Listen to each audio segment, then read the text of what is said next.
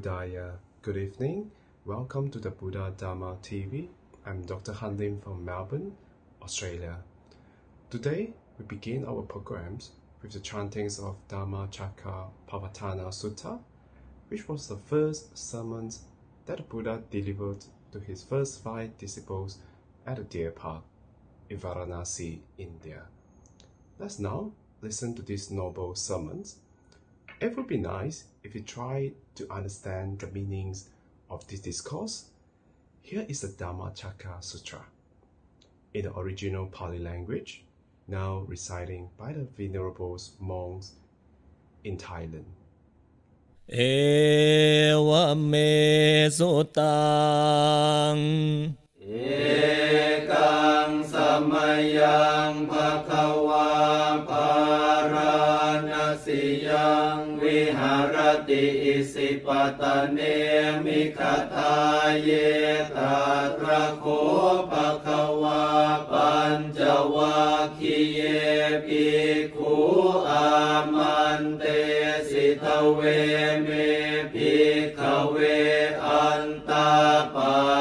ชิเตนะนะเสวิตาภายโยจายังกาเมสุกามสุขันลิกานุโยโคหิโนคัม โมโปตุชนิโกอนาริโยอนาทสันหิโตโยจายังอัตตกิลมัทานุโยโคทุโคอนาริโยอนาทสันหิโตเอเตเตปิขเวอุโพอันเตอนุปคัมมมาชิมาปฏิปทาตถาคเตนะอภิสัมพุทธาจากขุกรณียานกรณีอุปสมายาอภิญญายสัมพุทธายนิพพา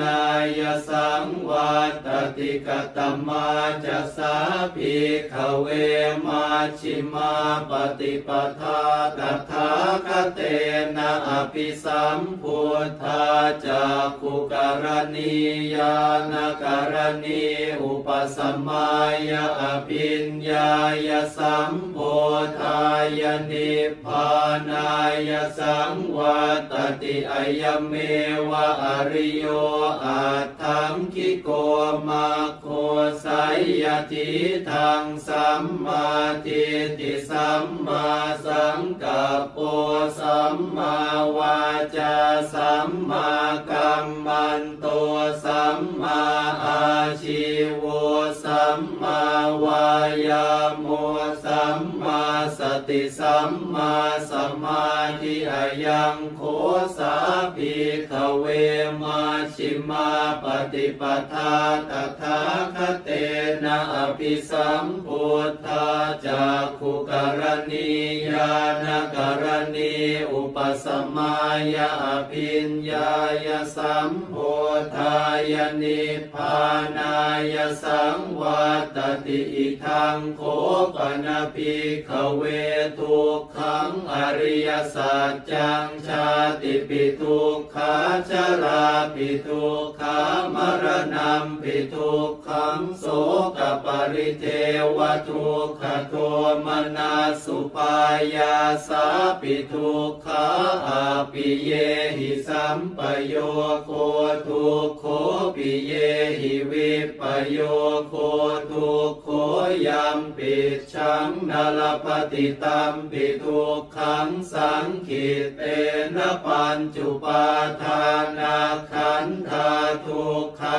อิทังโคปนาภิกขเวทุกขสมุทัยโยอริยสัจจังยายังตันหาโปโนภวิกานันทิราคสหคตาตาตรตาตราพินันทินีสยติทางกามตันหาภวตันหาวิวิภวตันหาอิทังโคปนาภิกขเวทุกขนิโรโทอริยสัจจังโยตัสสะเยวตันหายาเสสวิราคนิโรโทจาโคปฏินิสัโคโมติอนาลโยอิทังโคปนาภิกเวทุกขนิโรธคามินีปฏิปทาอริยสัจจังอายเมวะอริโยอัตถังกิโกมาโคสยทิทังสัมมาทิฏฐิสัมมาสังกัปโปสัมมาวาจาสัมมากัมมันโตสัมมาอาชีวสัมมาวายาโมสัมมาสติสัมมาสมาธิ อิทังทุกขัง อริยสัจจันติเมภิกขเวปุเพอนันโนสุเตสุธรรมเมสุจักขุงอุทปาทิยานังอุทปาทิปัญญา อุทปาทิวิชา อุทปาทิอาโลโกอุทปาทิตังโคปนิทังทุกขังอริยสัจจังปริญญายันติเมภิกขเวปุ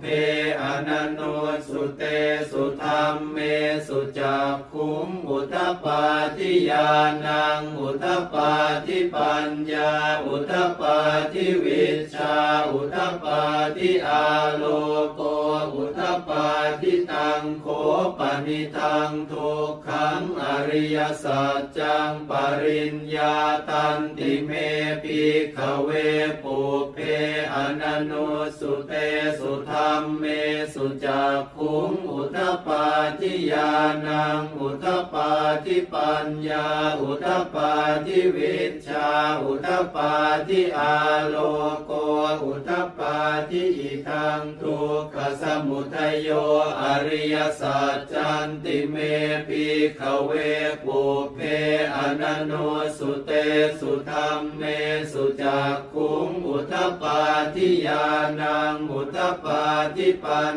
ญาอุทปาทิวิชาอุทปาทิอาโลโกอุทปาทิตังโคปนิทังทุกขสมุทัยโยอริยสัจจังปหาตาพันติเมภิกขเวปุเพอนันโนสุเตสุธรรมเมสุจักขุงอุทปาทิยานังอุทปาทิปัญญาอุทปาทิวิชาอุทปาทิอาโลโกอุทปาทิตังโคปนิทังทุกขสมุทัยโยอริยสัจจังปะหินันติเมภิขเวปุเพอนันโนสุเตสุธรรมเมสุจักขุงอุทปาทิยานังอุทปาทิปัญญาอุทปาทิวิชาอุทปาทิอาโลโกอุทปาทิอิทังทุกขนิโรโทอริยสัจจันติเมภิขเวปุเพอนันโนสุเตสุธรรมเมสุจักขุงอุทปาทิยานังอุทปาทิปัญญา อุทปาทิวิชา อุทปาทิอาโลโกอุทปาทิตังโคปนิทังทุกขนิโรโทอริยสัจจังสัจจิกาตาพันติเมภิขเวปุเพอนันโนสุเตสุธรรมเมสุจักขุงอุทปปาทิยานังอุทปาทิปัญญา อุทปาทิวิชา อุทปาทิอาโลโก อุทปาทิตังโคปนิทังทุกขนิโรโทอริยสัจจังสัจจิกตันติเมภิกขเวปุเพอนันโนสุเตสุธรรมเมสุจักขุงอุทปาทิยานังอุทปาทิปัญญาอุทปาทิวิชาอุทปาทิอาโลโกอุทปาทิอิทังทุกขนิโรธคามินีปฏิปทาอริยสัจจันติเมพิขเวปุเพอนันโนสุเตสุธรรมเมสุจักขุงอุทปาทิยานังอุทปาทิปัญญา อุทปาทิวิชา อุทปาทิอาโลโก อุทปาทิตังโคปนิทังทุกขนิโรธคามินีปฏิปทาอริยสัจจังภาเวตาพันติเมปิขเวปุเพอนันโน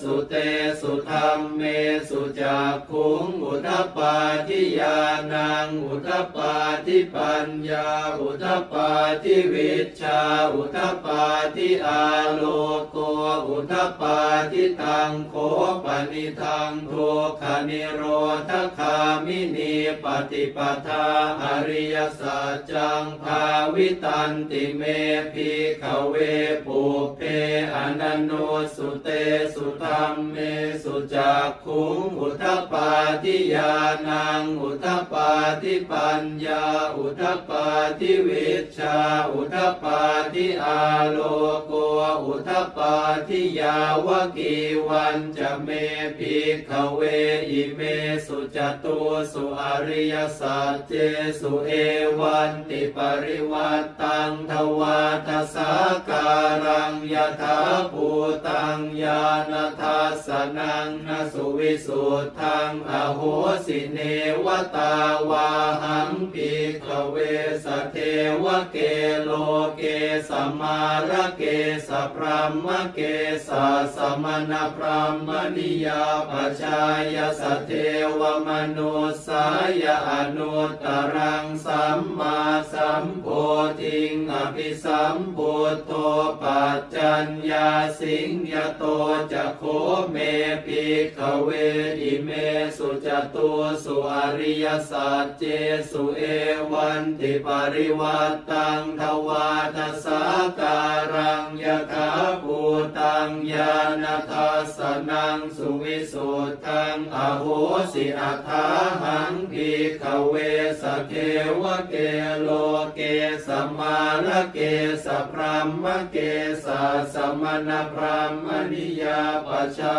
ยสเทวมนุสายอนุตตรังสัมมาสัมโพธิงอภิสัมพุทโตปัจจัญญาสิงญาณัญจปนเมทัสนังอุทปาทิอปุปปาเมวิมุตติอายมันติมาชาตินาติธานิปุนาภโวติอิธรรมโวจะภควาอัตมนาปัญจวัคคียาภิกขุภควโตภาสิตังอภินันทุงอิมาสมิงจะปนวัยยาการณาสมิงพันยมาเนอายาสมโตโกนทัญญาสวิรชังวีตมลังธรรมจากคุมอุทปาทิยังกินจิสมุทัยธรรมังสัพพันตังนิโรธธรรมันติป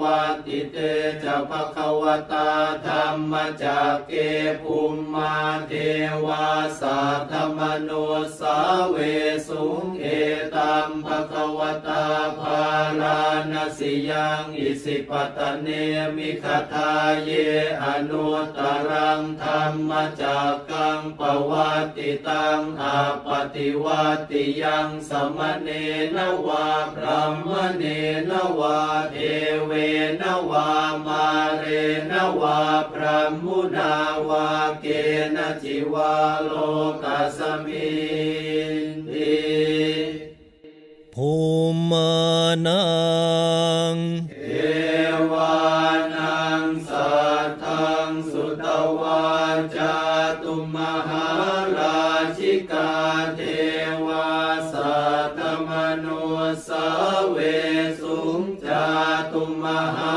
ราชิกานังเทวา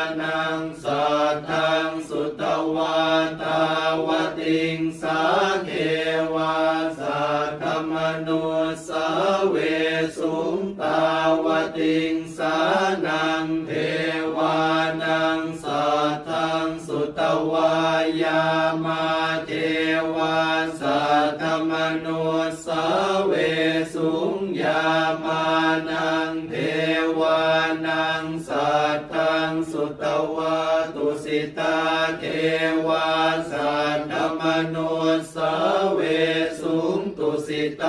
นังเทวานังสัทธังสุตวานิมมานรติเทวาสัทธมโนสเวสุงนิมมานรตินังเทวานังสัทธังสุตวาปรนิมมิตวสวัตติเทวาสัทธมโนสเวสุงารนิมิตวสวัตตินังเทวานังสัทธังสุตวาพรหมกายิกาเทวาสัตมนุสาเวสุ วตาภาราณสิยังอิสิปตะเนมิคทาเยอนุตรังธรรมจักกังปวัตติตังอาปฏิวัติยังสมเนนวาพระมเนนวาเทเวนวามาเรนวาพระมุนาวาเกณจิวาโลกัสมิ อิติหเตนะคะเนนะเตนะโมโหเตนะยาวะพรหมโลกาสัตโตอาภูคาจิอายันจัตสสหัสสีโลกธาตุสังกัมปิสัมปะกัมปิสัมปะเวทิอาปมาโนจะโอลาโลโอภาโสโล เกปาตุนะโหสิอติกรรมเมวะเทวานังเทวานุภาวังอัตโคภะควาอุทานังอุ เนสิอัญญาสิวัตโพโกนทันโยอัญญาสิวัตโพโกนทันโยติอิติอิทังอายสมะโตโกนทันยาสอัญญาโกนทันโยตเววนามังอาโห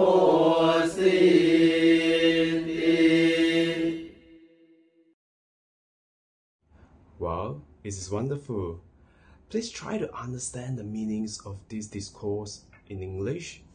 This is the Buddha teachings, in short. Now, here is the most venerable Dr. Bhikkhu Bodhi to give his highly praised sermons and introductions to Buddhism, part 6.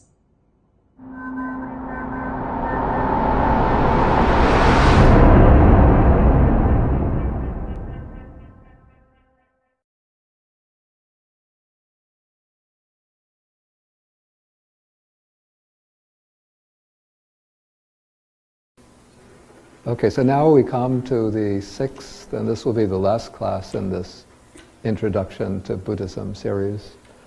So, this class I entitled it With the Buddha's Teachings and Today's World, or something like the relevance of the Buddha's teachings to today's world. And there's first the com- a common misunderstanding of Buddhism that it's necessary to straighten out. And sometimes one gets the impression, if one reads just an anthology of Buddhist texts or a sampling of Buddhist discourses, you see again and again that the discourses are addressed, oh monks, oh monks, oh monks, here a monk does this, there a monk does that. And you get the impression that Buddhism is entirely a teaching intended for monks, for monastics. But you see, the Buddha made the primary aim, sort of the distinctive, the unique aim of his teaching is enlightenment and liberation. Liberation from samsara, that is the round of repeated birth and death to which ordinary beings are bound by their greed, hatred, and delusion. And so, what the Buddha's distinctive discovery was that path, that path of training, the Noble Eightfold Path, that leads to the elimination of greed, hatred, and delusion, and thereby brings liberation from the cycle of birth and death. And to follow that path in its fullness requires, for the most part, a life of renunciation. The Buddha himself, when he was still living in the palace as a aristocrat, when he realized that he wanted to seek liberation, he left the life of the palace, the life of luxury, and went into the forest, put on the saffron robes of an ascetic, and then for six years he practiced different types of meditation, different types of austerity in order to reach the final goal of enlightenment. And once he attained the goal, in order to make that path available to others in its fullness, in its completeness, he established a monastic order.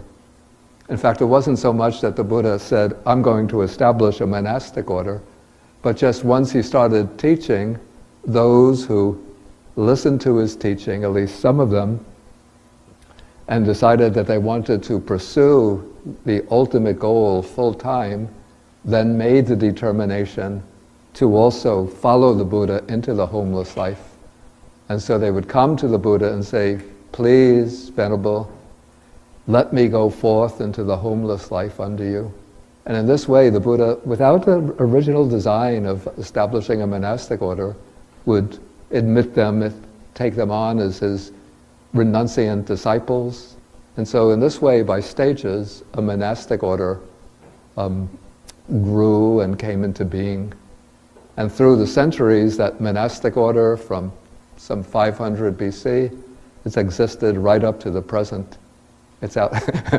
I'm often proud to say that it's outlasted the Roman Empire, the Persian Empire, the Holy Roman Empire, the so many dynasties of Chinese kings and emperors.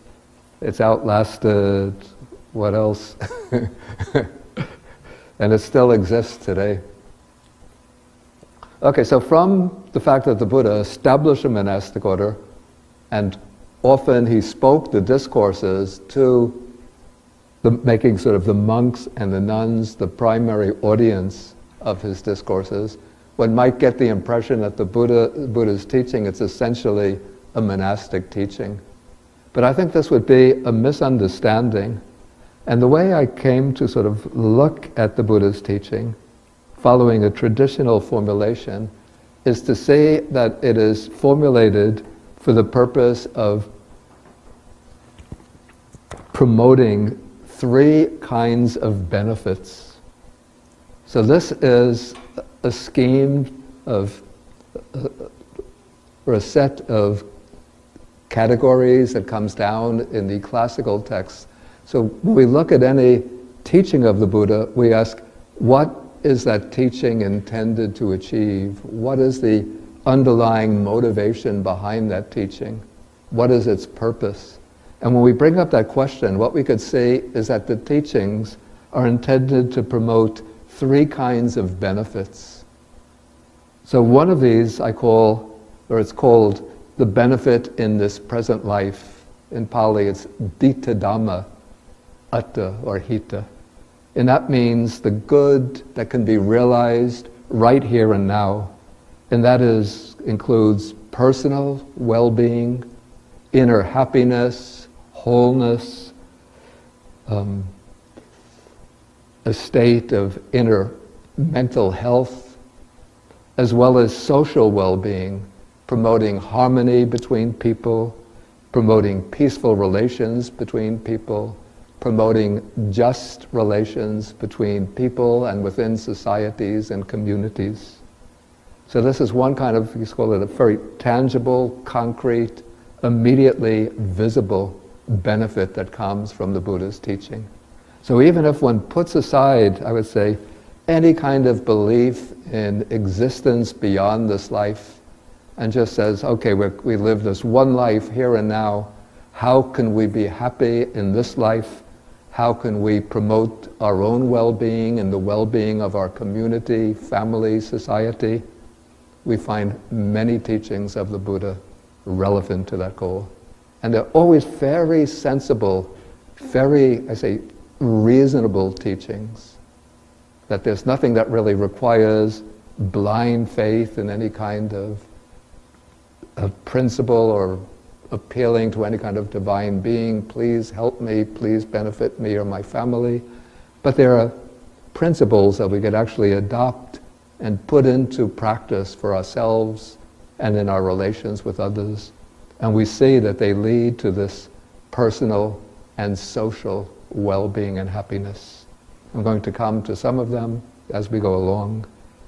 Okay, the second benefit is what the texts call samparayika hita, which means the benefit pertaining to future lives, to the next life and lives beyond that.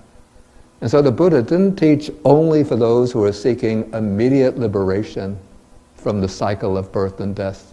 Because most of us, almost all of us, are going to have a future life. We're going to go on from this life to future lives. And so we have to understand what are the principles, the underlying system of laws that govern this process of rebirth. And the basic principles, the system of laws that govern the process, is entirely an ethical system. So ethics, according to Buddhism, is not something purely subjective, purely created by human beings but there's a kind of objective moral order that we have to be able to discern, to discover. And one of the accomplishments of the Buddha is to discover that moral order and to teach that order to others. And so the basic principle that underlies this benefit pertaining to future lives is that by behaving ethically, by following codes like the five precepts, which we'll come to, the ten ways of wholesome action, which I took in the class on karma, then one will be creating the conditions, cultivating the causes that lead to a favorable, to a fortunate rebirth in the future. So we want to avoid, we call an undesirable rebirth, that is a fall into the states of misery and extreme suffering. And we want to secure a happy or fortunate future existence, existence either as a human being or in one or another of these celestial realms, which are really realms of superior existence. And so the way to achieve a favorable rebirth is by adopting and molding one's life around these basic ethical principles. And so this is not something that requires a life of renunciation, though of course a life of renunciation adopts those principles as a sort of guiding framework. But in one's day-to-day life, one could observe the five precepts, the ten ways of wholesome action, the practice of generosity, compassion for others, and then you could even put in question I don't know whether there's a life beyond the present one, but if, one is, if there is a life beyond the present one, those will be the conditions, the causes that lead to a good rebirth and then to happiness in future lives. Okay, and then the Buddha teaches that all existence within this round of rebirths, whether it's life in the human realm, life in the heavenly realms, not to speak of life in the lower realms, all is subject to eventually to old age and to death. And so, therefore, the ultimate aim for Buddhism is to break free from the cycle of birth and death and to attain that state that we call the deathless, the unconditioned, the unborn, in which there's no, no more birth, old age, sickness, and death. That is Nibbana. So that's the final and ultimate goal. Okay, and so the attainment of that ultimate goal, that is, that requires the cultivation of those practices like the Noble Eightfold Path in its fullness, the seven factors of enlightenment. And so those are the practices that the Buddha taught principally for the monks, for monks and nuns, but they're not in any way sort of sealed off with a label on them for monastics only lay people do not touch. But anybody can learn these teachings and put them into practice in their daily life. For example, in the Noble Eightfold Path, sort of the crown of the Noble Eightfold Path is the practice of right mindfulness, the seventh factor, based upon the previous factors. And so when you take up in your day to day life if you take up, set aside periods for practicing mindfulness of breathing, observation of the feelings, observation of states of mind, then you're practicing right mindfulness. You're practicing that key element in the Noble Eightfold Path, which is also the practice that we monastics take up. So, whether it's lay people or those who have left the household life, the path to liberation is the same. It's just that monastics, we have sort of the benefit of time to devote ourselves more time to the cultivation of the path.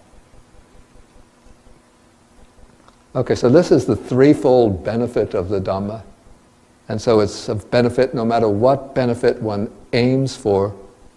If you take up the practice, because the Dhamma, it's structured around this principle of causes and results, seeds and fruits.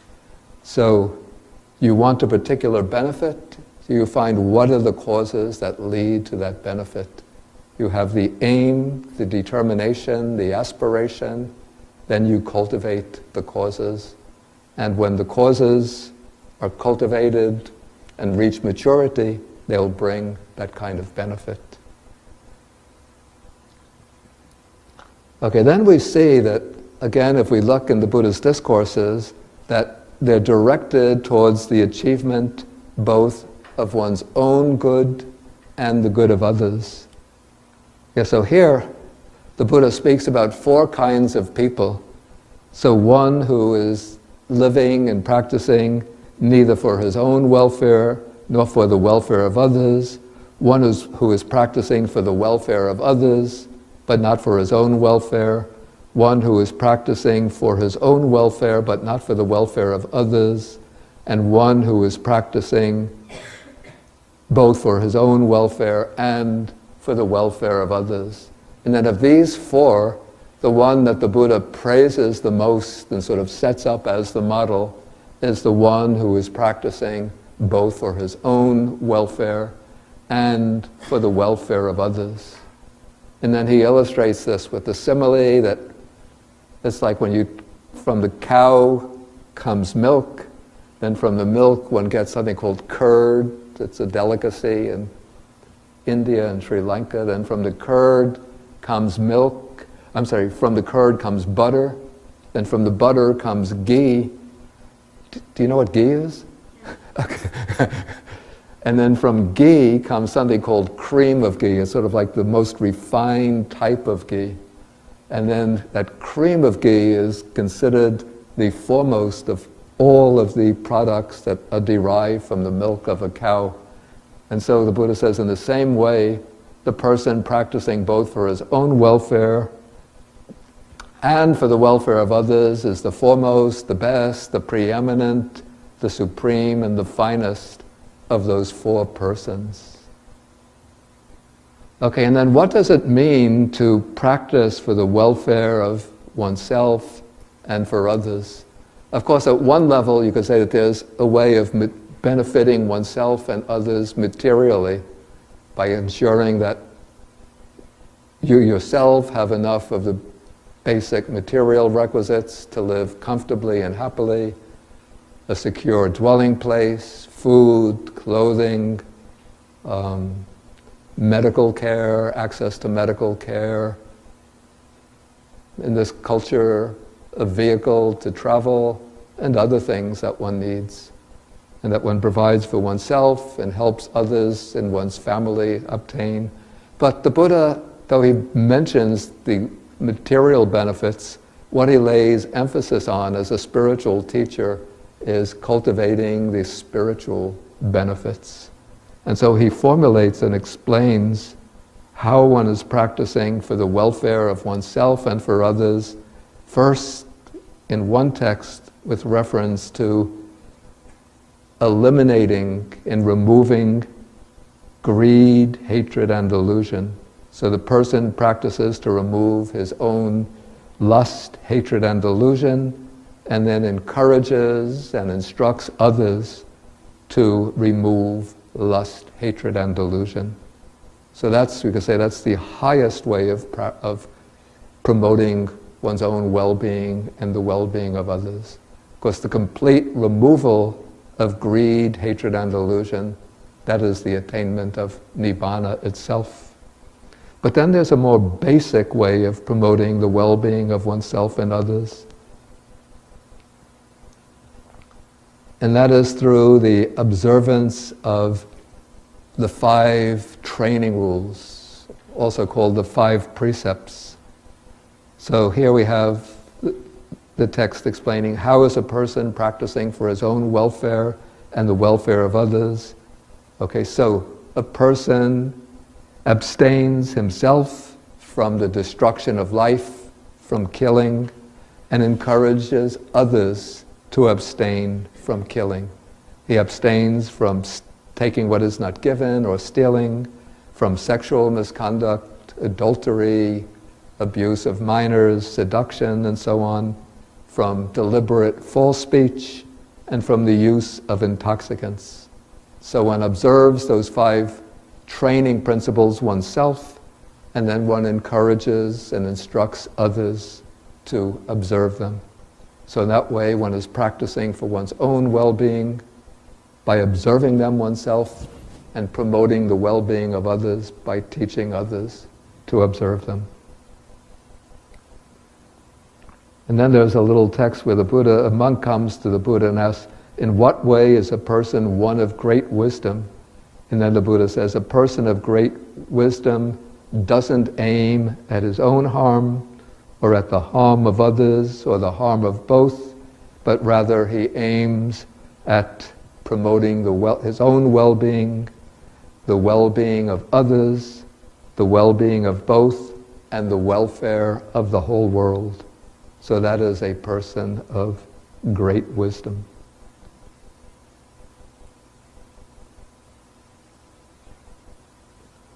Okay, so now I've laying out something of what we call the framework of Buddha's social thought.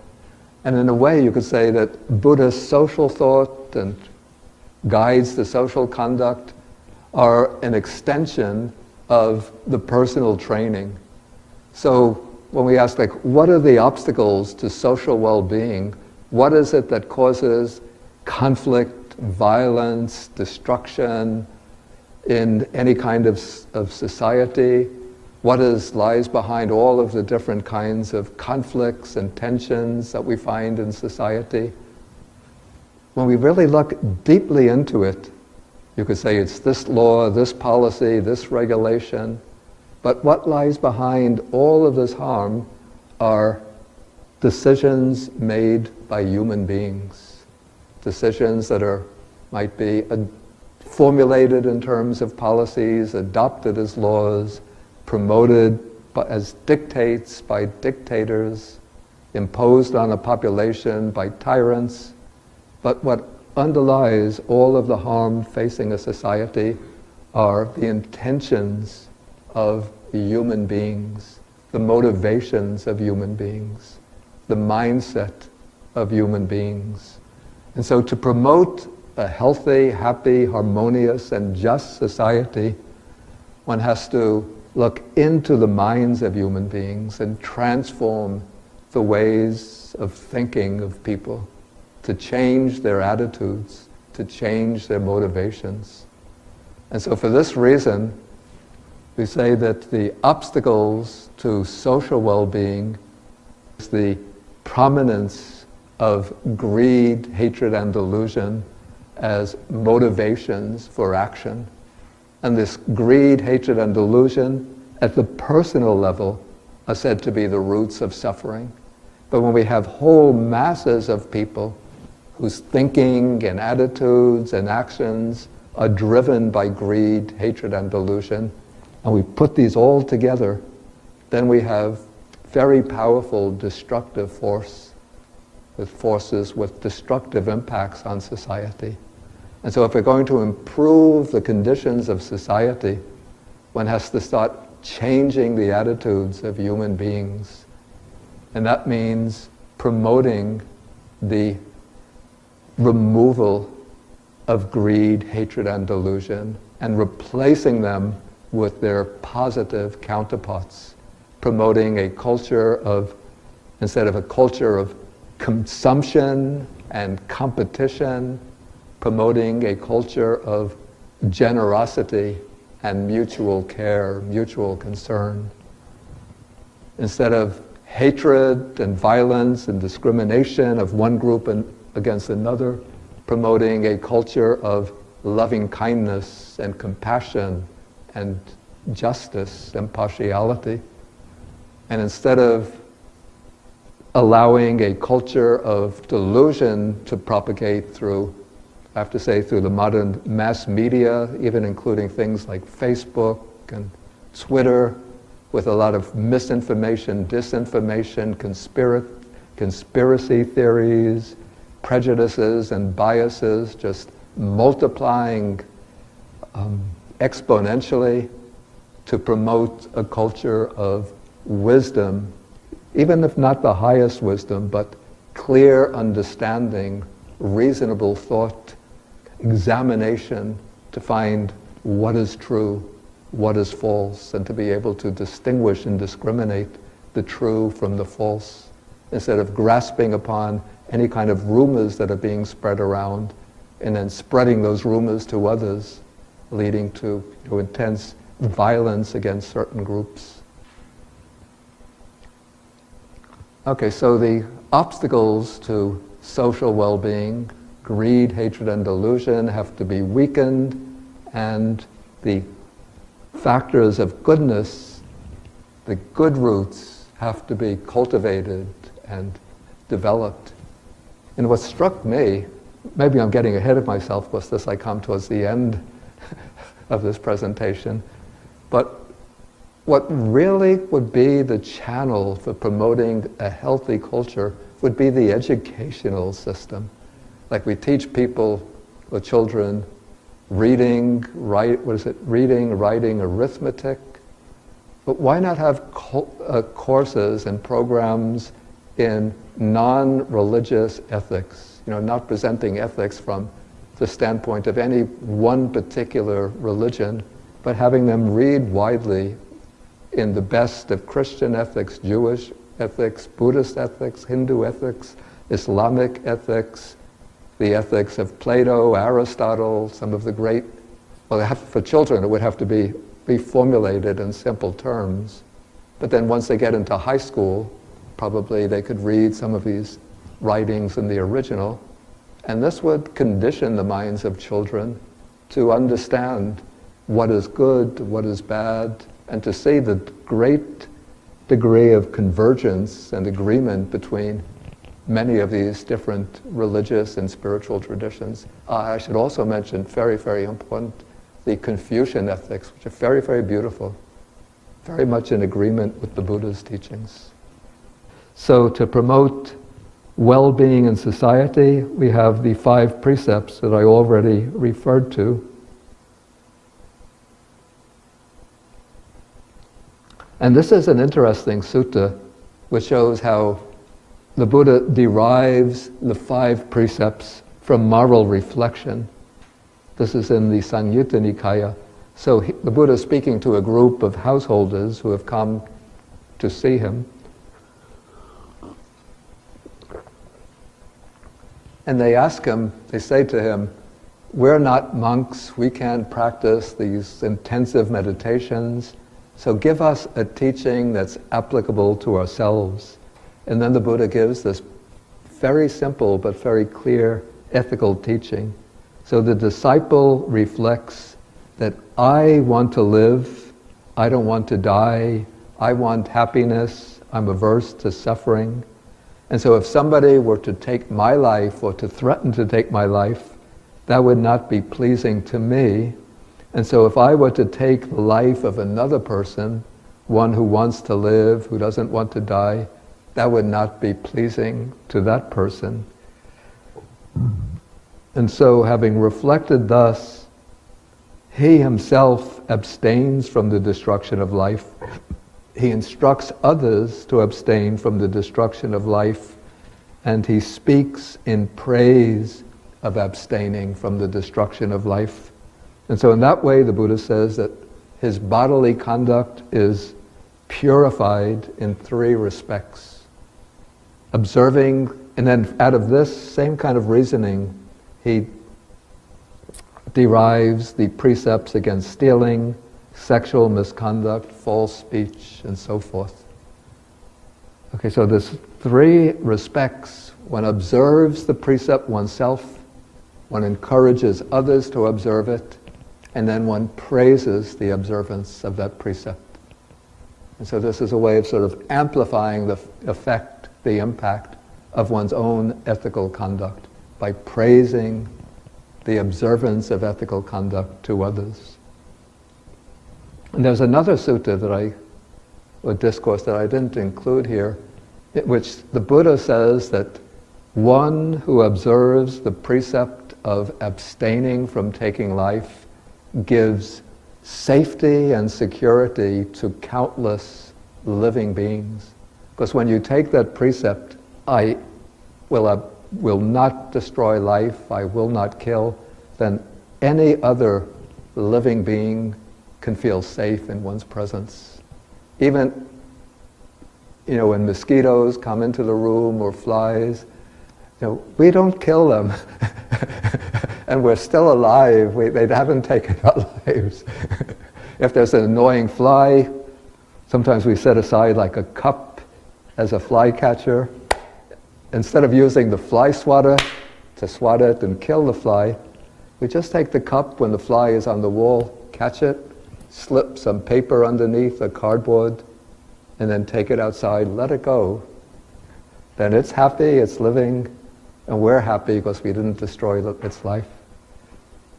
Okay, so we have this aspect of moral behavior with the five precepts, and then the other kind of ethical practice that goes along with the precepts is generosity.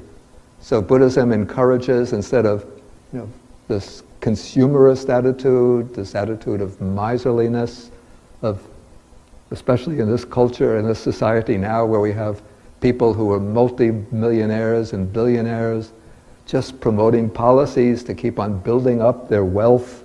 So you're not satisfied with 2 billion, you have to get 2 billion, 500 million, then going from 2.5 billion to 4 billion to 6 billion, up and up and up, never really satisfied, and just keeping it for themselves.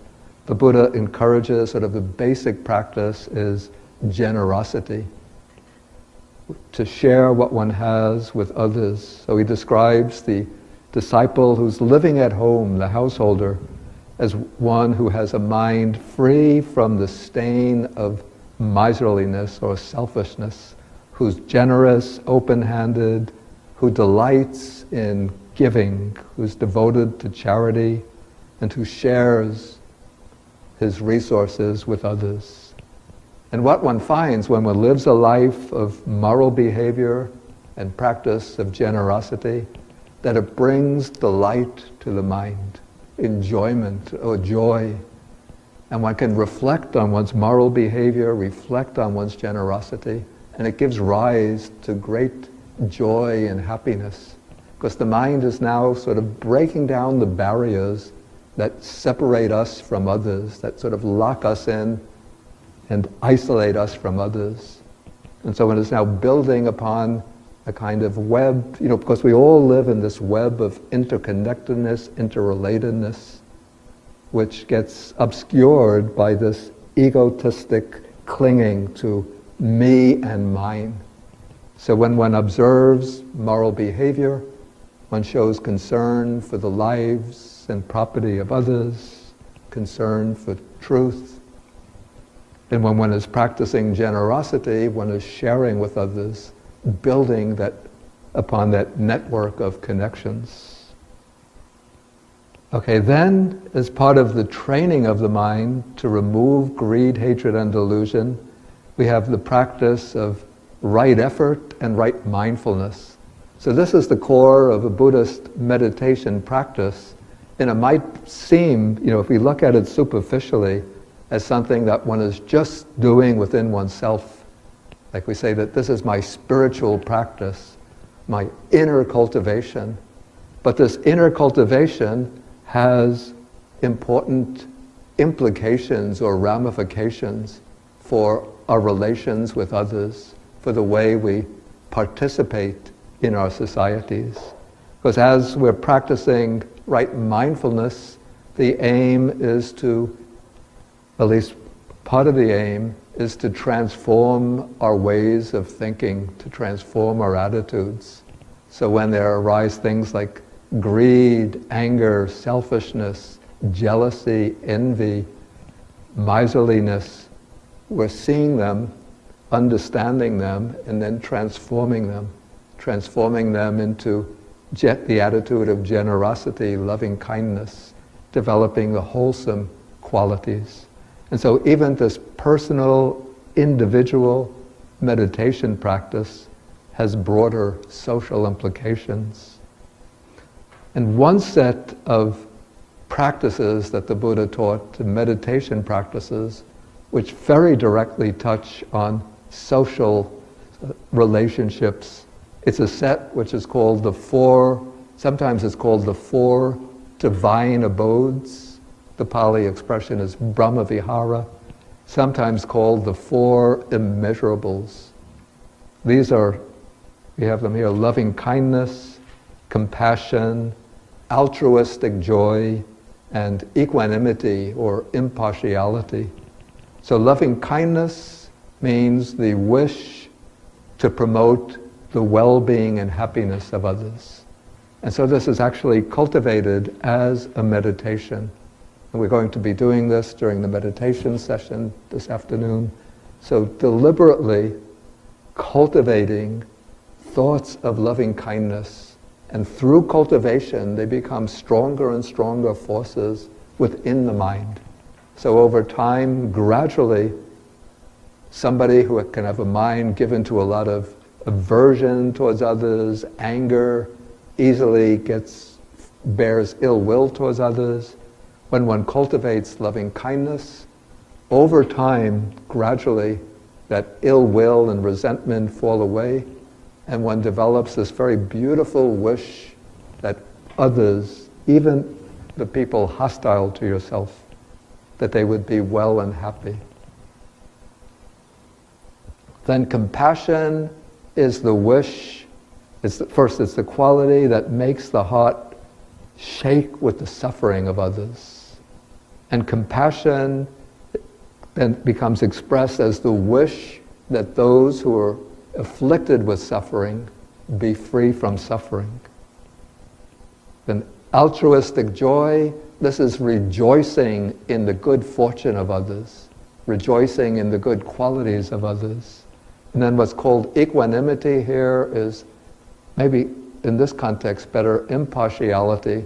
So looking at everybody equally as equal, without discriminations of favoritism, those I like, those I dislike, but seeing everyone as being essentially the same as oneself. Okay, so these are attitudes, again, that are cultivated through meditation, but through persistent practice, they change, they bring about the change within oneself, and in that way, they change the way one acts within one's community and society. And one of the sort of concrete ways in which the Buddha brought this practice of loving kindness into actual, brought this development of meditative development of loving kindness into actual communal embodiment is a set called the Six Principles of Cordiality, which he taught to the monastic order. Because even though monks have left the worldly life, the household life, but even in a monastic community, little secret, there can be hostilities, there can be conflicts, there can be, call this, faction, factions forming, this group against that group. And so to counter that, the Buddha taught these six principles of cordiality. So one is maintaining bodily acts of loving kindness towards one's fellow monks. That is, acting to, acting to them with loving kindness through one's actions, like helping if they get sick, bringing them things they need. The junior monks will sweep the living quarters of the elder monks. If a monk is, has trouble putting on his shoes, the younger monk will put on his shoes and help him take them off. So those are kinds of bodily acts of loving kindness. Then there's verbal acts of loving kindness, speaking gently, politely, respectfully to others.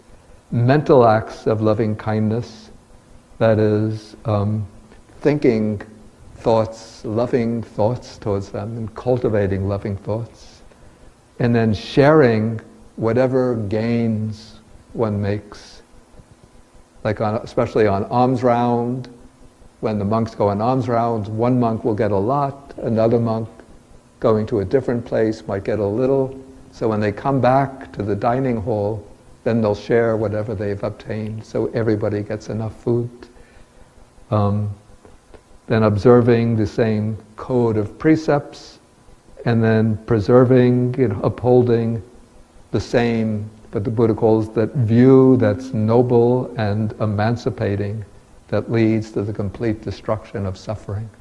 So these principles are they're originally taught for the monastic order, but we could see that we could apply them, at least with certain adaptations, in our relations with other people, in our family, community. And that will bring about real positive changes. Okay, then what I found, one thing I found to be quite a remarkable feature of the Buddha's teachings and this impressed me at a very early time, even before I became a monk, when I was just reading the Buddha's teachings on my own. I discovered that, you know, we could, what initially attracted me to Buddhism were these very deep, you know, philosophical teachings and high meditative practices, which I wasn't able to practice, but they were still very impressive, these elevated states of consciousness. But what I discovered is that within the discourse collection, there's remarkable number of discourses by the Buddha given to people living family lives and, com- and lives in their community, showing how they can live together happily and harmoniously. Very, very beautiful teachings that the Buddha gives to husband on how to treat his wife, to the wife how to treat her husband, to parents how to bring up children, to children how to look after their parents, and the relationships between friends, between teacher and the students, student and teacher, employer and employees, employees to the employer, and so forth. I think I included those, one of those discourses which sums up everything. Yeah, I included this here. It's a sutta or discourse the Buddha gave to a young man whose name was Sigalaka. See, one time the Buddha was walking on alms round, and when he came to the village, outside the village, there was a young man who he saw he was bowing down to each of the six directions, bowing to the east, east, north, west, south, then bowing down to the underworld and bowing up to the sky. Then the Buddha asked him, What are you doing? and he said, Well, my father recently passed away, and before he passed away, he told me that I should pay homage to the six directions. So I'm honoring the last request of my father. And then the Buddha said, Well, what you're doing, you're practicing worship of the six directions in one way, but that's not the way I teach worshiping the six directions. And then the Buddha sort of turned the teaching around by explaining the six directions as the relationship between parents and children, husbands and wives, friends and friends, teachers and students, employers and employees, and between the religious and the laity. So I included that there. I'm not going to go into this in detail here. But if you look at that at your own leisure, you'll see that even though some of the principles, of course, are not so relevant today, like that the parents should arrange a suitable marriage for their children. but most of them you know, if we put a few of those aside, look almost as though they could have been written in the 21st century. Okay, then I have some teachings that are related to the, to the proper role of the government. And even this the Buddha taught, though of course the Buddha framed it against the monarchical system of government, which had risen to dominance during his own time. But what the Buddha tried to do was to set up an ideal of moral leadership for the king.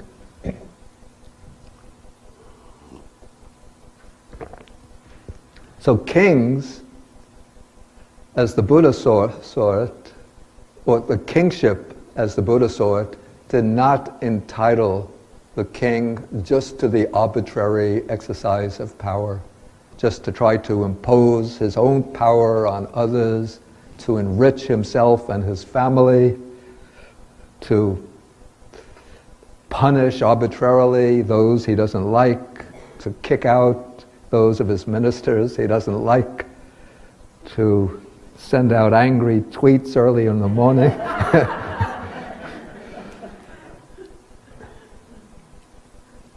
but he sees that kingship is entails the responsibility that the king, the proper ruler, is responsible for promoting the well-being of everybody within his realm.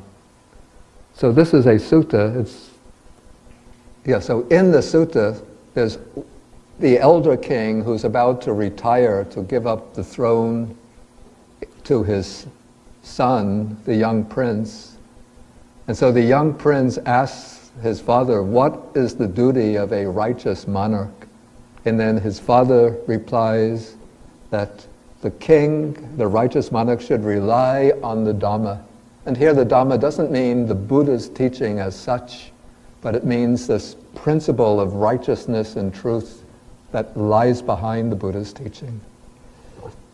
So, relying on the Dhamma, you should provide lawful protection, shelter, and safety for your own dependents, for the Brahmins and householders, for the people living in the towns and the countryside, for ascetics and Brahmins, even for the beasts and birds. Let no crime prevail in your kingdom, and to those who are in need, give wealth. That's very important.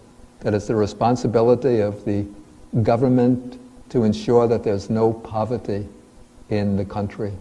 If we apply this today, we should say that the government has a responsibility to ensure that everybody has a satisfactory standard of living.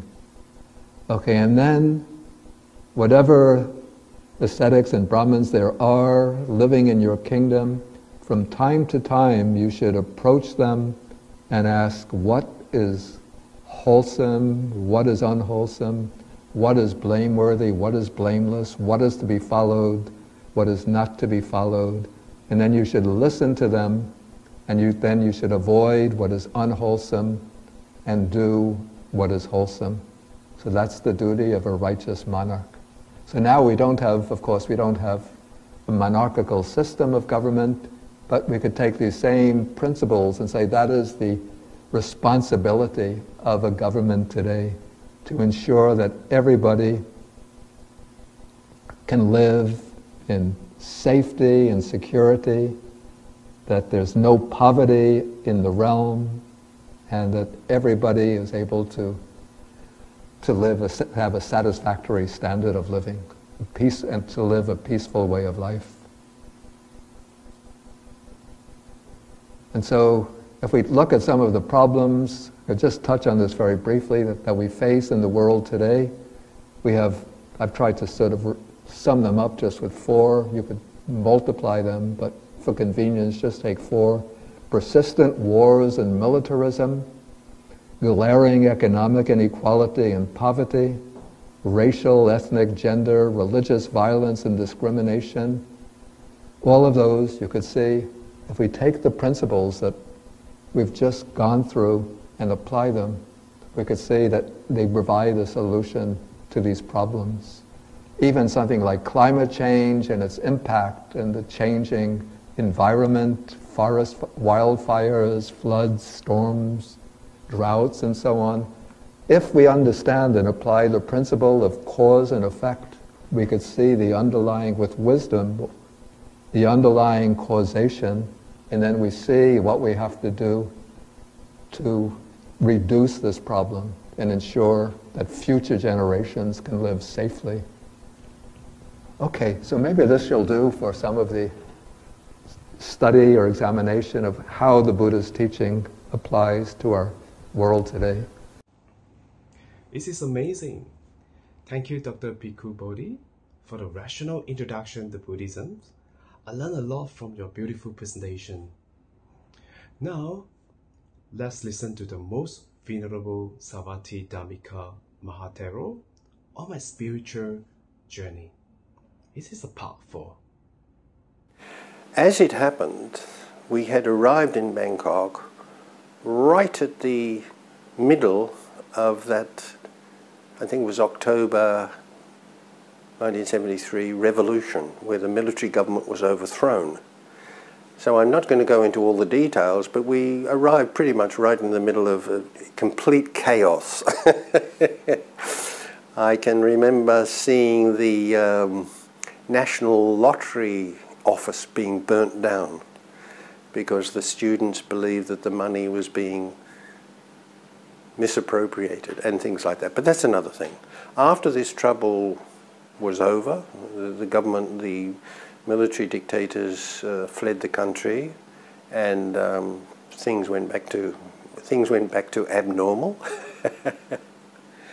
so then he took me around to various temples. Um, I stayed a night in Wat Arun and some other temples. And I remember one experience I had there where he took me to a, uh, a temple whose abbot was his friend. And we, we went in, and the, there were young monks sitting around a round table. Their, their, their dana had just been delivered. And they must have been freshly shaved. Their heads were shaved, their eyebrows were shaved, and they had these bright orange robes. And I thought they just looked absolutely beautiful. It was the image of the perfect monk. Serene, smiling, friendly faces, and etc. And of course, in Thailand, when you approach monks, you sort of have to crawl on the floor. Anyway, we went in sort of crawling on our elbows and that, and my friend said, shut the door. So I crawled back and closed the door, and when I closed the door, pinned to the back of the door was a Playboy pin-up, a centerfold from a Playboy magazine.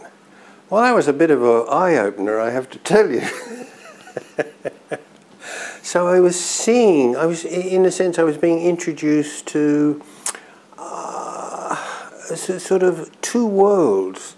There was the Buddhism of the image and the Buddhism of the reality, at least the reality somewhere. Anyway, I, I won't go into the details, but over the next month, maybe it was, maybe it was more than a month, I went, I went to Chiang Mai, we went to Sukhothai, and I was really taken by Thai culture. The beautiful, very uh, aesthetic way they present the food and the beauty of the temples and and some of them really are beautiful. And some, I remember going to the National Museum and just being really quite overawed by the the aesthetic quality of the art and the culture, and particularly the particularly the Buddhist stuff. And then I decided uh, I better have a look at Laos.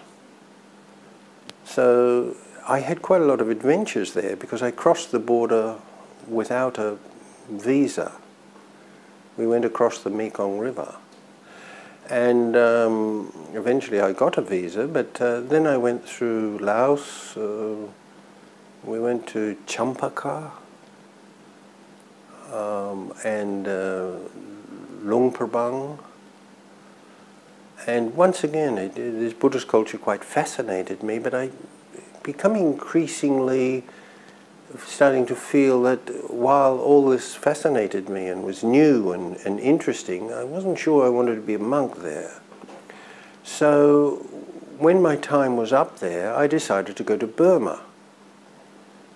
So I went to Burma, and um, it was so different in those days. There were very few cars, there was no sort of uh, modern advertising and all that sort of thing. It was a very sleepy, quiet, uh, fading city. And um, virtually immediately I met people who were Buddhists. And when I told them that I had wanted to become, a, I was a Buddhist and that I wanted to become a monk, almost immediately people were so helpful. And uh, without going through all the details, I was eventually taken to one of the main temples there where they had the fifth council. And there I was introduced to a monk called U Panyadipa. And uh, he taught me some meditation.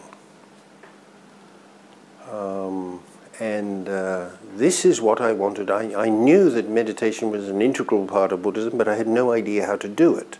I had tried to do it myself, but without somebody guiding you, it's somewhat difficult. So um, then I went around and had a look at various things in Burma, which once again just fascinated me. I can remember very vividly, almost as if it was yesterday, my experience at the great Shwedagon Pagoda. And I'm 71 now. I have seen some of the great monuments in the world, the Palace of Versailles, the Forbidden City in China. I've seen all of these things, but nothing compares to that stupa. It is the most beautiful thing ever built by mankind, I think and it's a fitting tribute to the Enlightened One. It is so beautiful. So the, one of these people I'd met took me there, and I remember going there in the evening when it was cool and listening to the chanting and the smell of the flowers that people were offering and the how how elegant and, and uh, uh, people were dressed and the, the general peacefulness and that it, it absolutely absorbed me. And most of all is listening to the tinkle of the bells on the top of the, of the pagoda. It was just enchanting. However, in those days, uh, foreigners were only allowed to stay for, for seven days. So I had to leave, but I wanted more. So I went back to Bangkok, I got another visa for Burma, and I had arranged with Venerable uh, U Panyadeepa to do a meditation course.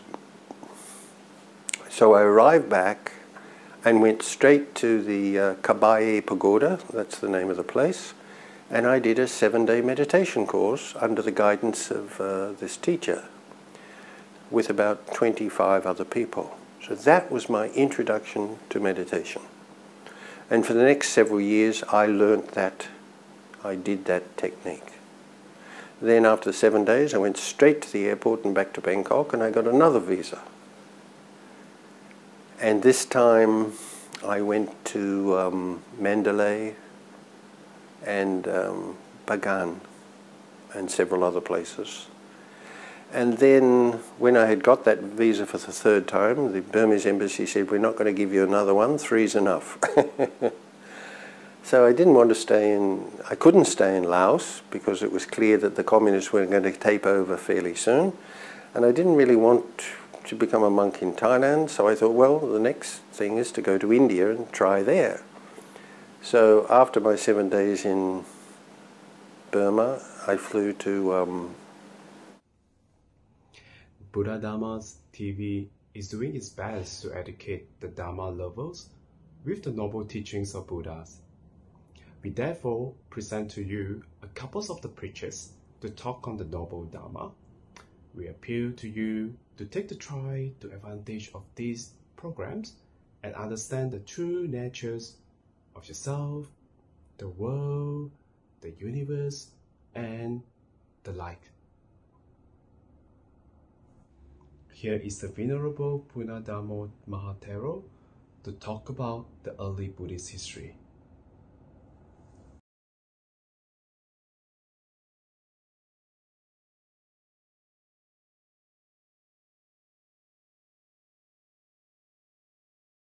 Namo tassa bhagavato arahato samma sambuddhassa. Namo tassa bhagavato arahato samma sambuddhassa. Namo tassa bhagavato arahato samma sambuddhassa. So the, the Buddhist teaching, uh, the Dhamma, one of the characteristics of that is that it is uh, akaliko, which means timeless, outside of time or beyond time. And this is a word that has more than one level of meaning. But one of the meanings is that the teaching is useful and good and true in any period of time, whether it's ancient India or uh, the modern day and anything in between. It's not something that is specific, specifically true only for one historical context. So this this we can bear in mind, but it's also there's also another aspect to the Buddhist teaching in that it was given in a specific context, in a specific geographical, cultural, historical moment. And it's uh, useful for us to understanding the Buddhist teaching to be able to see it as it were through ancient Indian eyes and to put ourselves in the space of his contemporary uh, students and, and audience. This can be difficult for us. We live in a quite different time and place. And some of the misunderstandings that uh, arise about the Buddhist teaching, I think, comes from the tendency of moderns to anachronistically put their ideas and values and assumptions back into the ancient context. So they miss some of the nuances of the teaching you can find in the suttas when you read a, a sutta that very often, particularly in the Digha and Majjhima, you'll see very often that there'll be a framing paragraph at the beginning telling us who the Buddha's audience was, whether it was lay people or monks, and whether it was a large crowd or a small group, and what city it was in, or so forth. And this can often help us to understand the, the teaching, the specific teaching, because the Buddha did pitch his discourses to the specific audience very skillfully. So, in this uh, talk, I would like to explore a little bit of the background of India at the Buddhist time so we can begin to fit the Buddhist teaching into that picture.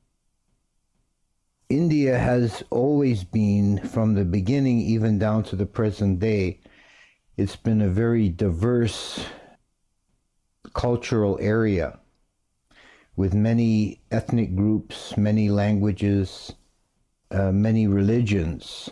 And this was true in the 5th century BC, and it's true in the 21st century AD. If we go back to the Buddhist time, and let's first of all specify what that is. Traditionally, the Buddhist calendar is dated from the Parinibbana, or the passing away of the Buddha, at 543 BC as year one. But modern scholarship has determined that that date is uh, at least 80 years too early, and the Buddha probably actually died sometime around 400 BC, which would put his birth at about 480. So he lived for those 80 years, roughly the 5th century BC. And the India of his time was a dynamic mix of influences. If we go back prior to the Buddha, we can see at least three roots that went into the shaping of the culture of northern India. Roughly, the Ganges Valley is the area we're concerned with. The three roots would be the Harappan culture, the indigenous Dravidians of the Ganges, and the incoming Aryan tribes.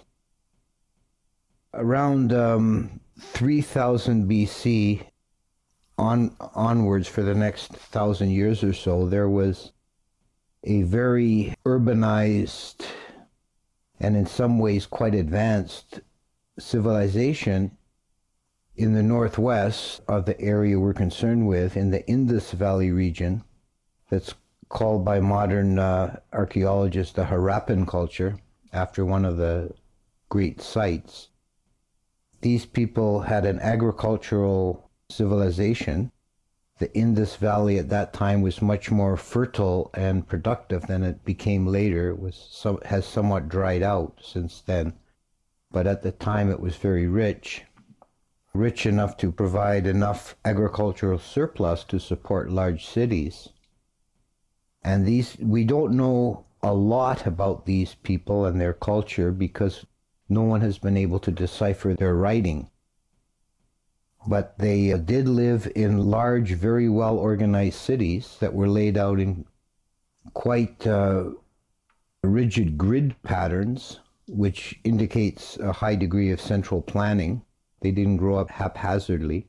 And they had, much earlier than anyone else, they had water systems to have running water and sewerage in the homes.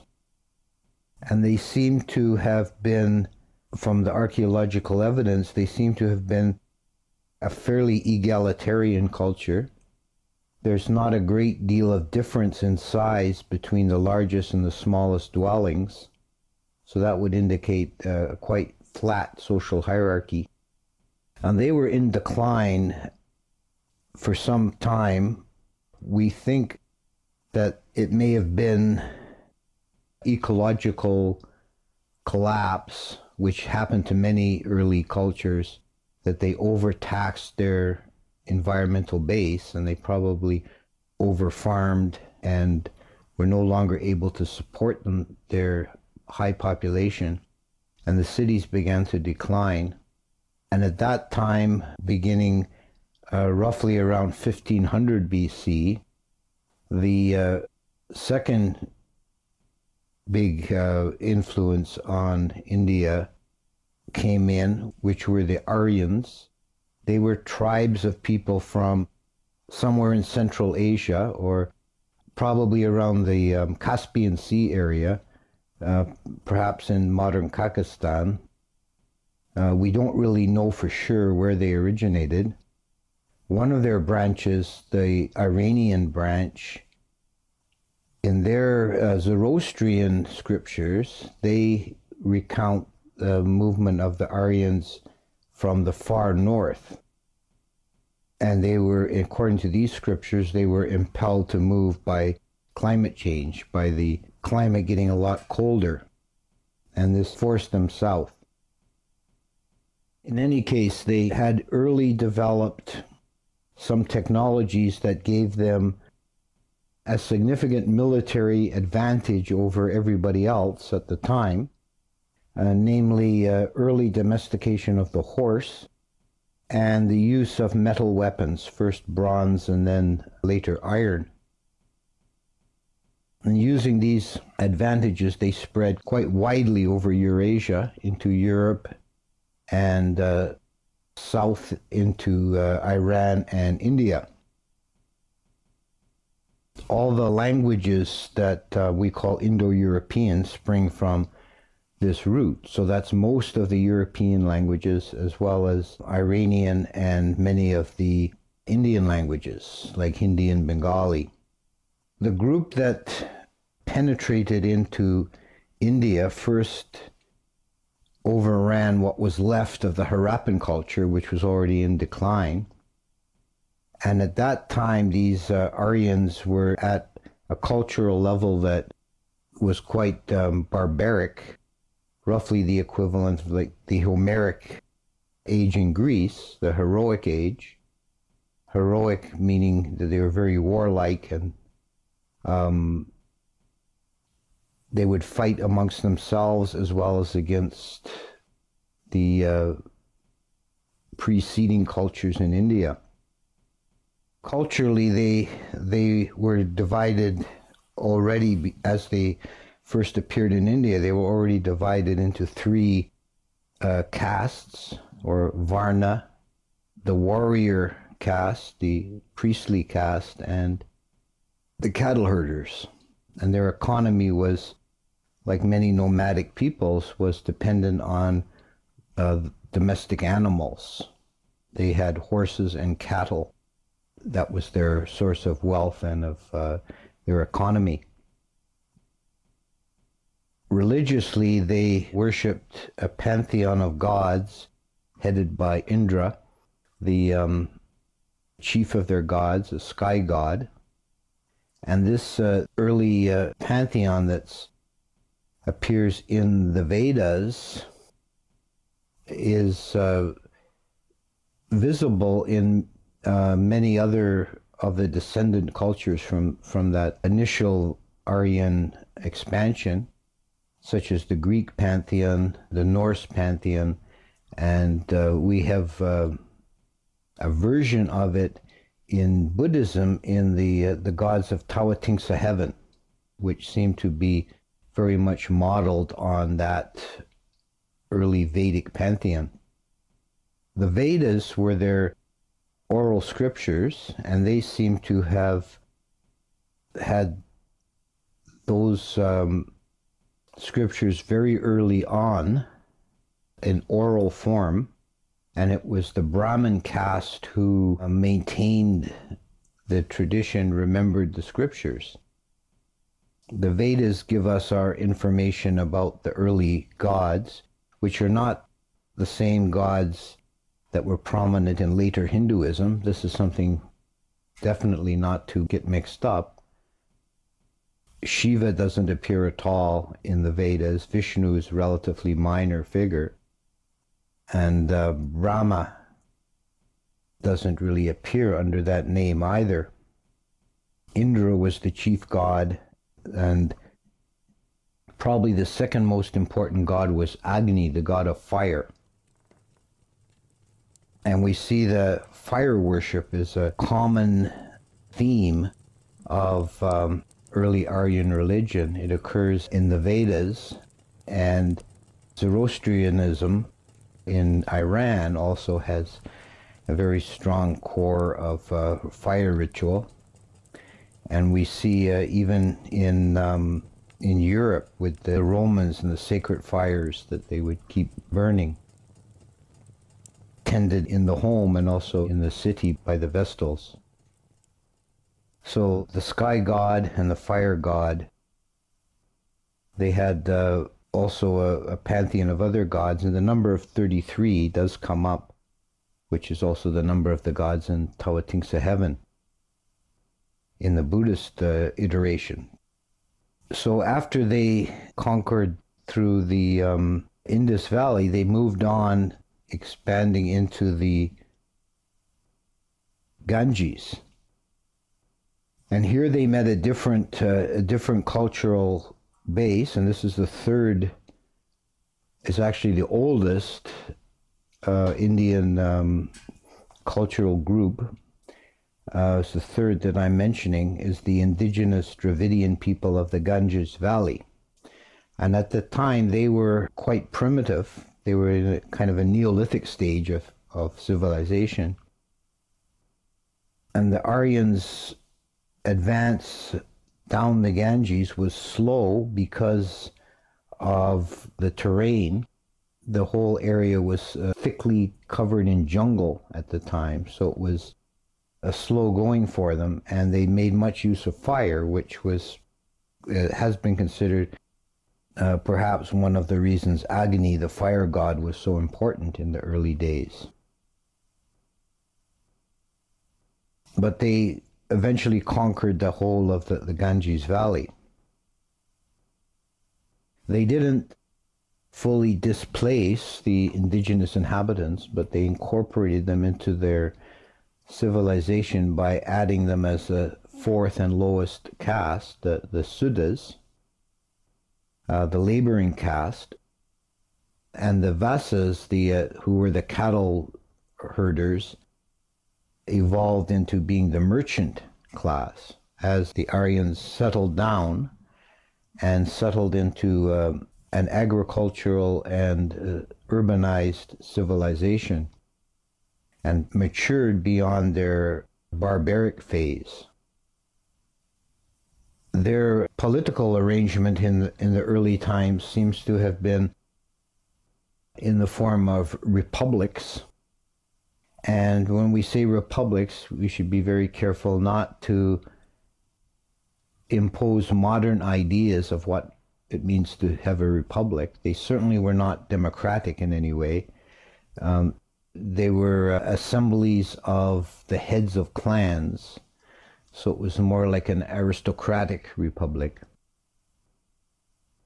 There was, by the time of the Buddha, when we get to that fifth century before Christ, there was a decided, there had already been a decided movement away from the republican form of government.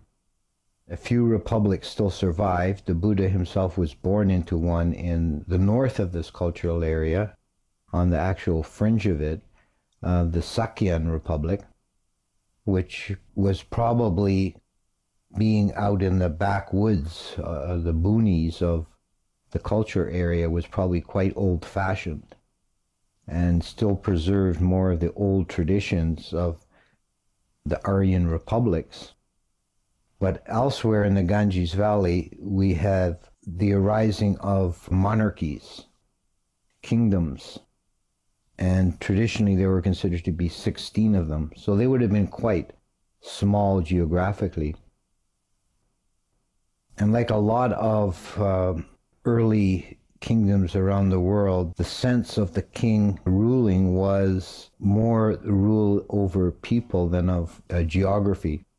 It was considered that power radiated from the, the center, and uh, those who were subject to the king, they, they, they were in his area, they paid taxes to the, the central monarchy.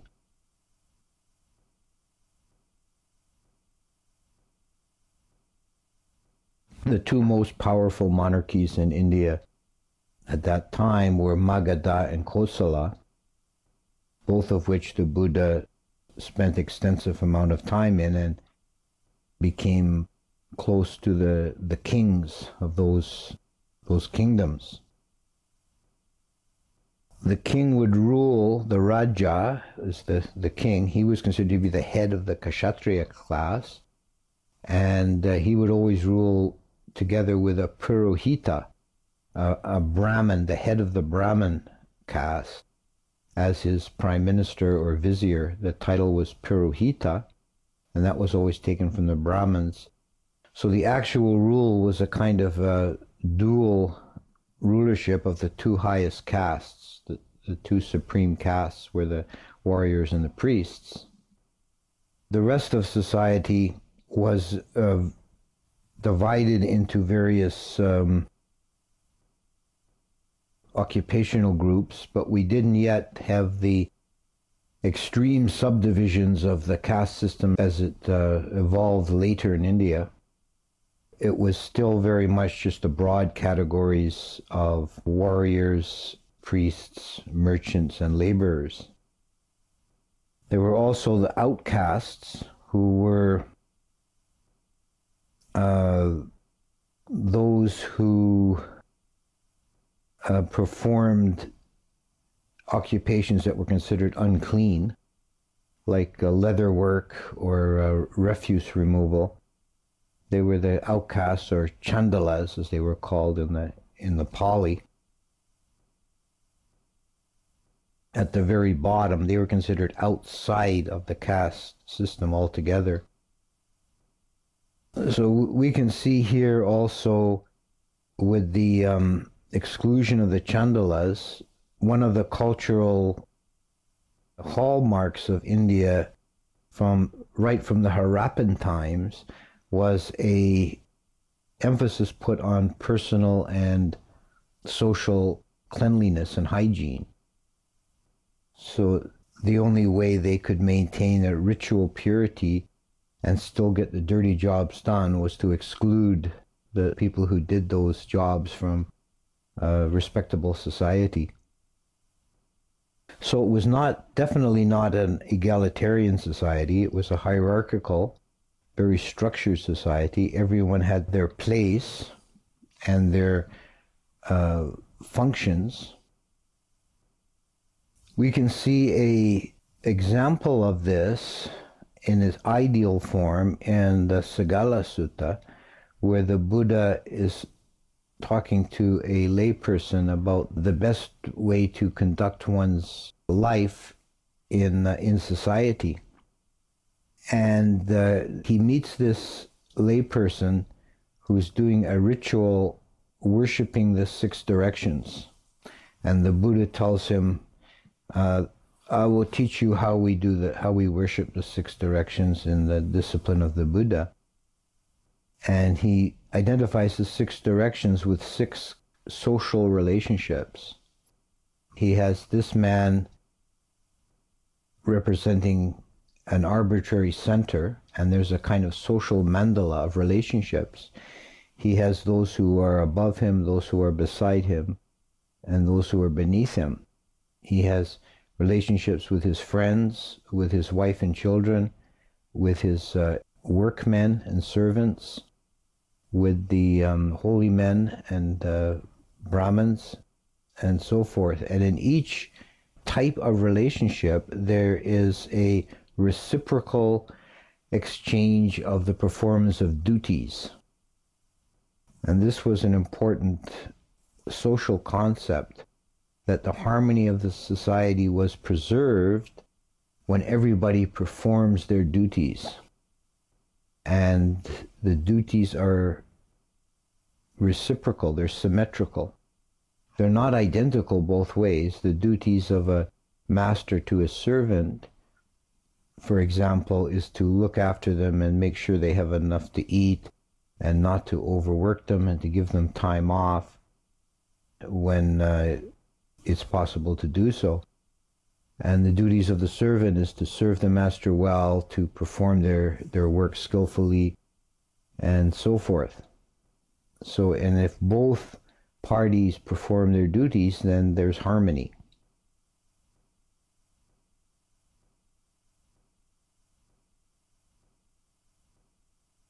And the Buddha presents this as, as an ideal.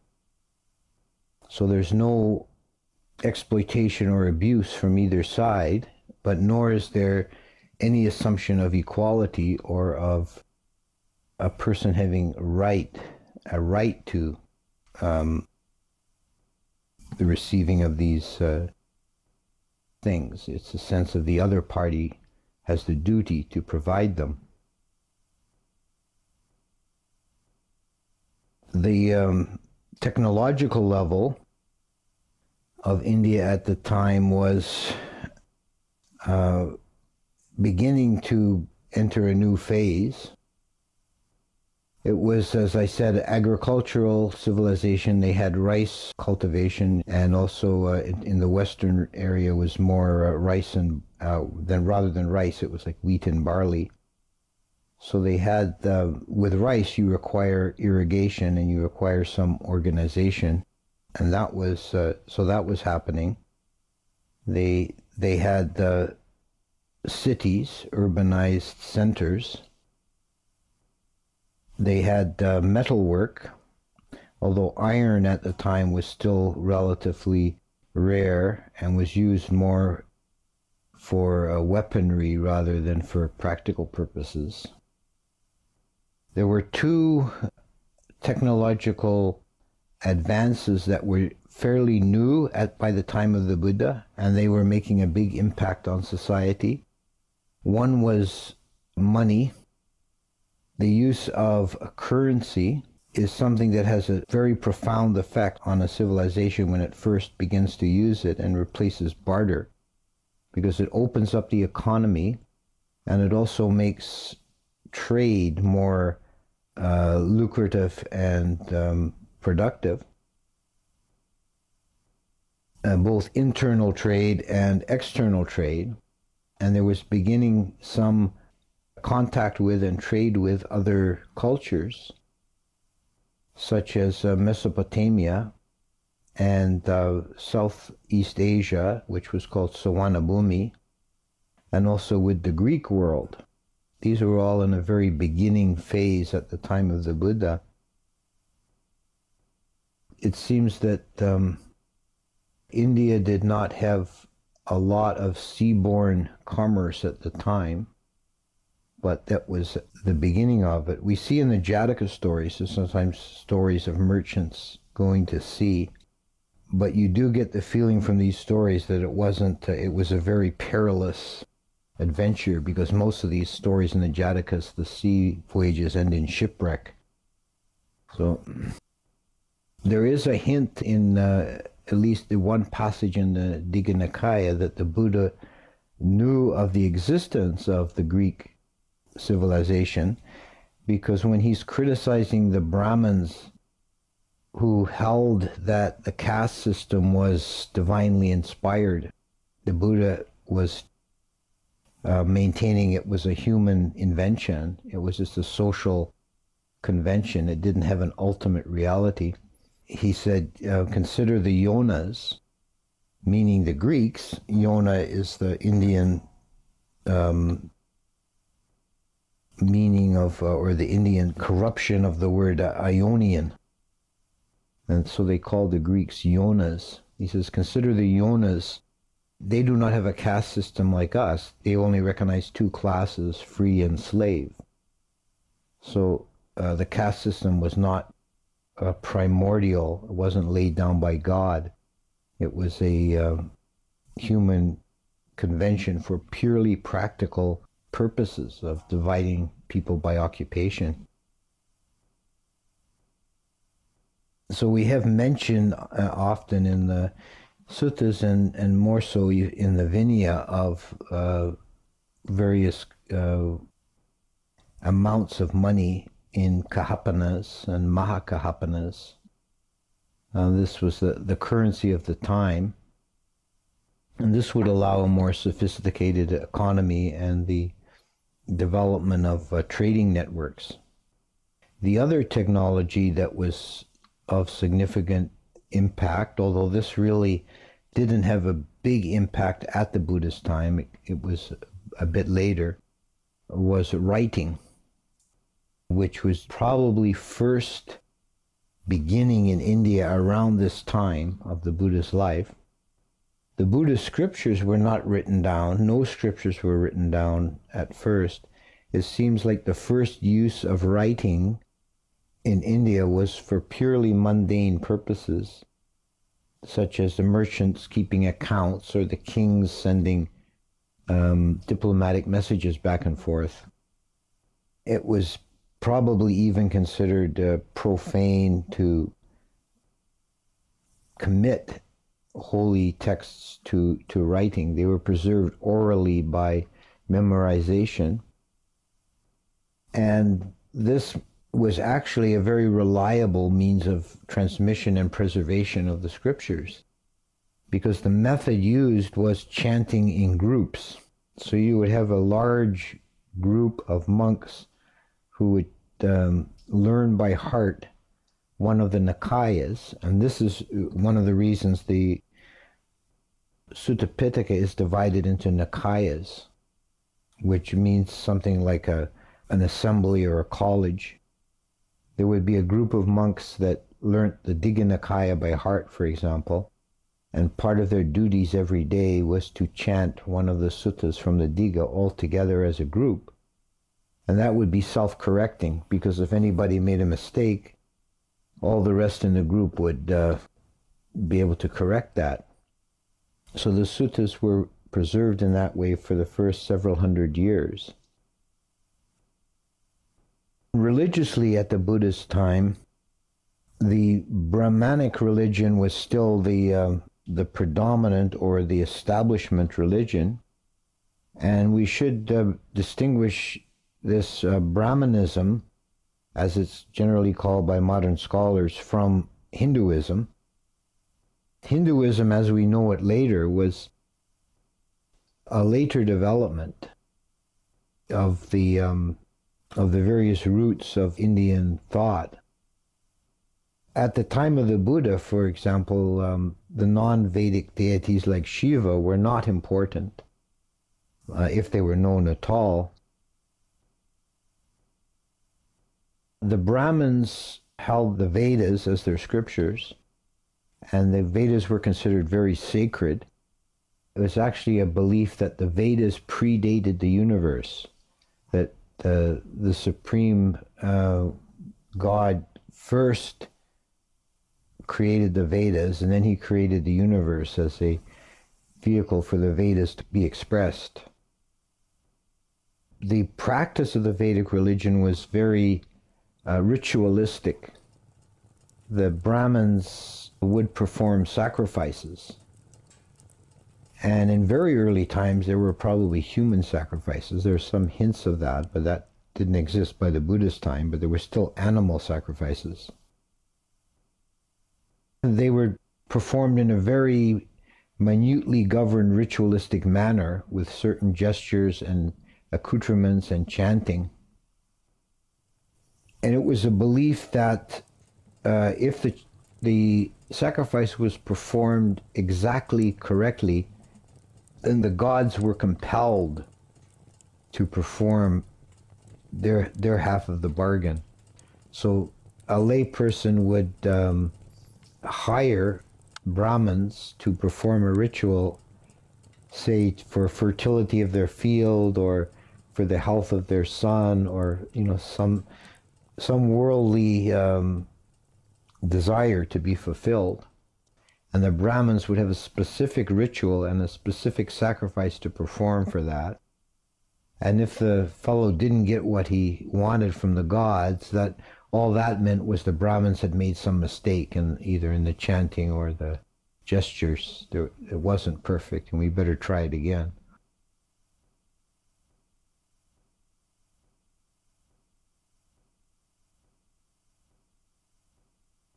That was the establishment religion.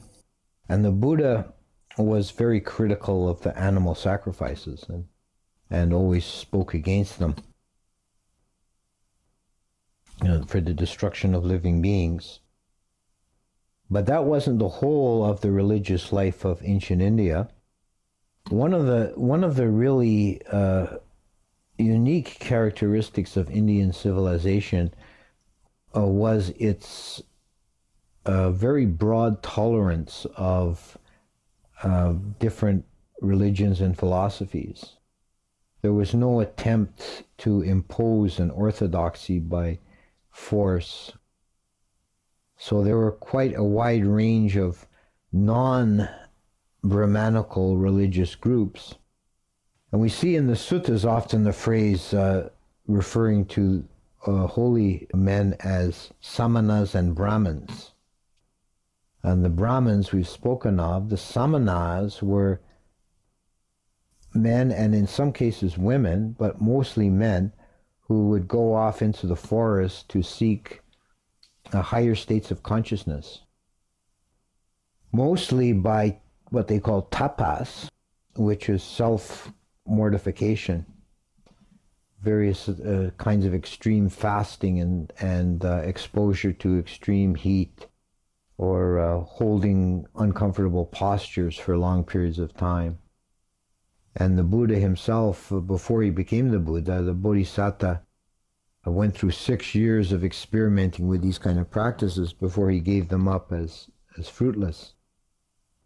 But it was a, a widespread movement in, in India, and these people were called samanas, and that's a word that's cognate with the, the word shaman, as we have in many cultures around the world, shamans or a specific class of priestly individuals who go into trances or communicate with the spirits or gods.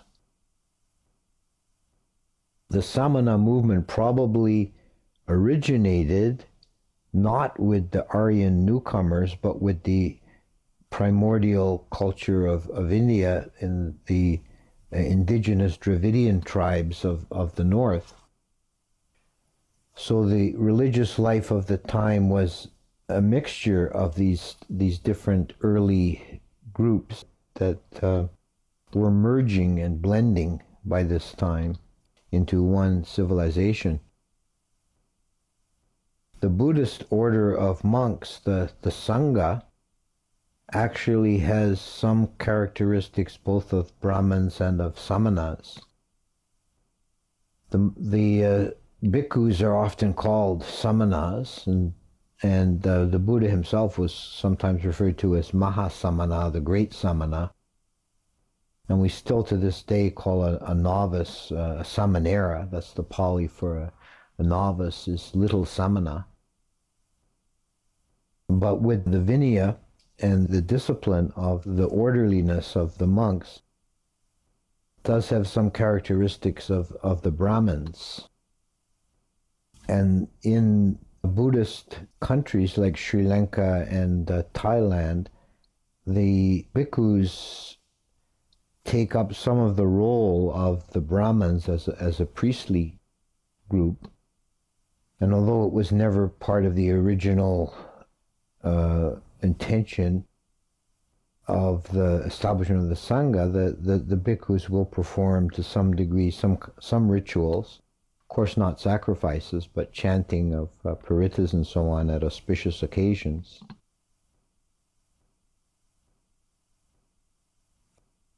So the Buddha operated in this environment of ancient India. And one of the things we note about the Buddha's career, of his teaching career, is that he was free to move about the whole length and breadth of uh, that culture zone that, which is called in the in the Pali text is called the middle country, Majjhima Padesa, uh, which refers to the Ganges Valley in northern India. And uh, he preached to all classes of societies, from the chandalas, the outcasts, all the way up to the, the kings and was respected and um, supported everywhere he went. So this was a very fortunate moment for the Buddha to come into the world, a fortunate time and place, some place that would not only tolerate but honor and revere uh, a teacher of a, a new way of life, a new teaching, a new religion or philosophy. We can compare that to the experience of Jesus Christ born into the Roman Empire and his teaching career was cut short after three years and they executed him. That's unthinkable that such a thing would happen in India to a, a holy teacher. The Buddha, in his previous life, before he he was born as the, as the, as Siddhartha Gautama, was spent in uh, Tusita heaven and it said that before he came down, and by that time he had completed all the baramis, and he was just waiting to take birth and attain Buddhahood in the human realm. And it said before he took birth, he examined the conditions, the time and the place for the suitability of the arising of a Buddha. So the arising of the Buddha in this uh, account at that time was not accidental. It was an ideal time for the arising of a Buddha. It was a society that was uh, supportive of the teachings and a society advanced enough to have a, a culture and a, a civilization that would be receptive to the teachings. So this is a brief uh, introduction to the uh, the conditions of India at the time of the Buddha. And uh, in subsequent talks, I would like to explore the later developments, the establishment of the sasana, and the later developments in the Buddhist teaching. But uh, for this time, I wanted to establish the background and the basis for the time and place of the Buddha.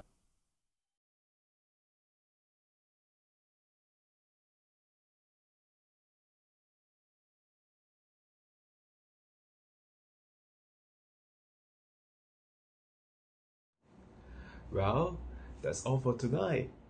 I hope you enjoy the programs.